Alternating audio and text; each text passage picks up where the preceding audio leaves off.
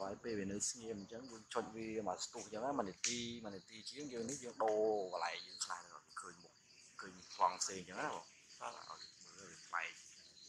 អញ្ចឹងបើចាំអាចចឹងក៏បានដែរមកស្ទូអញ្ចឹងចាំយើងធុះមើលវាស្ងៀមតាមទៀតមានតែមានធុះ